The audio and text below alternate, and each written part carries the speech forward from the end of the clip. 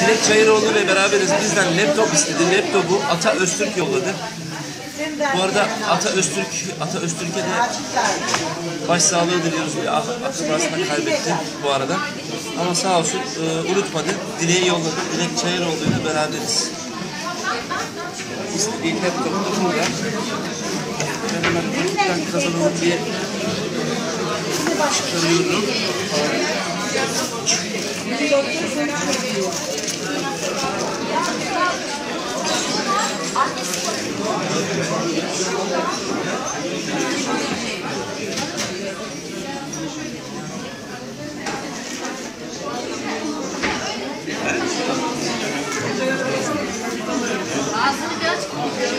Çok beğendim. Çok teşekkür ederim.